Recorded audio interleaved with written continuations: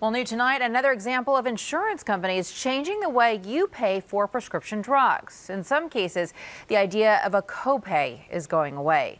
Consumer Watch reporter Julie Watts with a switch that could have you paying more.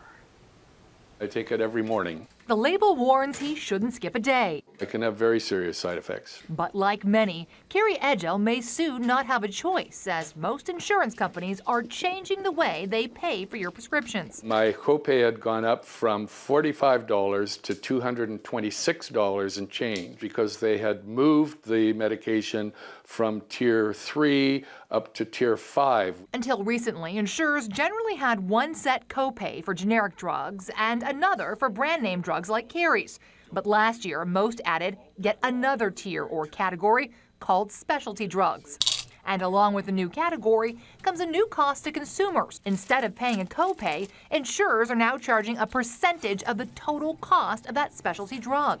That's five times the original uh, cost. And some insurers are now moving even seemingly common brand name drugs into the new specialty category, like Carrie's antidepressant.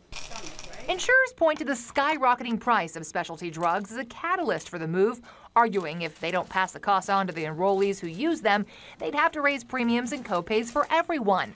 But many believe that'll happen anyway. It's something that affects everyone, whether you take the drug personally or not.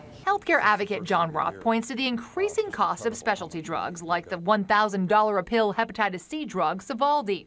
He blames drug companies for charging exorbitant fees, but the drug companies counter they're simply recouping their research and development costs. Well, the United States is unique in that we don't bargain with the drug manufacturer uh, to get a more reasonable cost, and just about every other country does. Policymakers across the country say they are working to address the high price of prescription drugs, but in the meantime, that's no consolation for those like Carrie who need their medication now. You know, the way costs are going, they expect costs to go up, but not five times.